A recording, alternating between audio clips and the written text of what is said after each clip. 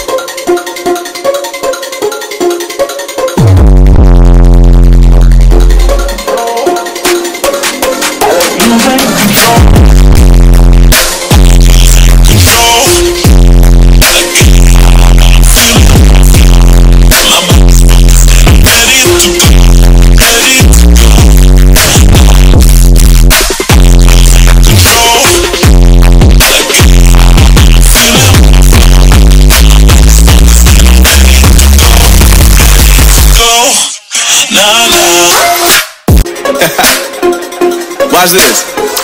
Yeah. Pop. Start up.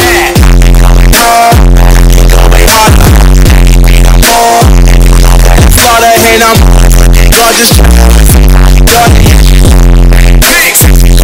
My sitting.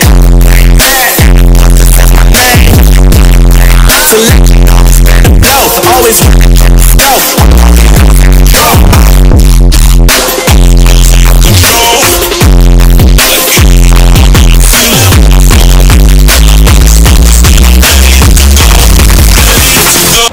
So just chest workout complete हुआ आज workout करने में बिल्कुल मज़ा नहीं आया क्योंकि आज मैं लेट उठा था और लेट उठने के कारण मेरा आज का जो रूटीन है बिल्कुल ही मेस्टअप हो गया था। सो so, आपने वीडियो में नोटिस किया होगा कि मैंने आज ना तो ज़्यादा वेरिएशंस किए ना तो ज़्यादा शेड्स किए। हाँ ठीक है बट ये वो भी घर पे जाऊँगा।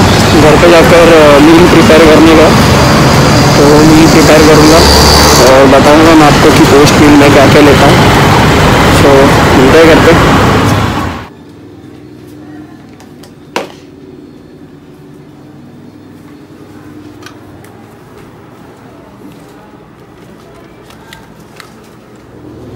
तो अभी फ्रेश होने के बाद अभी अपन बैठते हैं पोस्ट वर्कआउट मील की तरफ़। तो आज पोस्ट वर्कआउट मील में चार अंडे, जिसमें से दो के एग योग में निकाल दूँगा और दो के खाऊँगा और उसमें ऐड करेंगे हम लोग कांदा ऑनियन और कोरिएंडर टेस्ट के लिए। तो बनाते।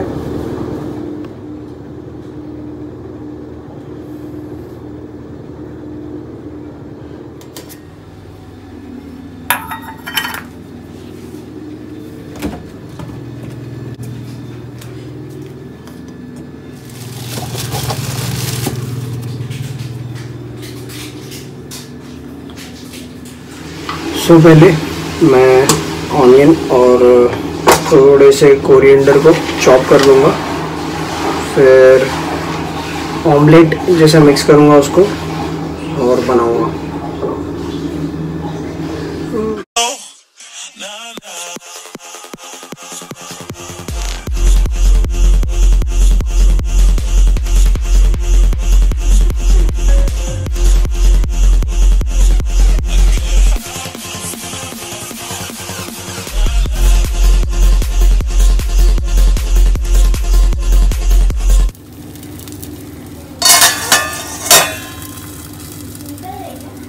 अगर आपको वीडियो अच्छा लगा तो leave a like share it with your friend and comment down below कि आपको नेक्स्ट वीडियो किस चीज़ पे चाहिए सो so, मैं वो चीज़ पे आपको हेल्प कर सकूँ। So take care and meet you at the next video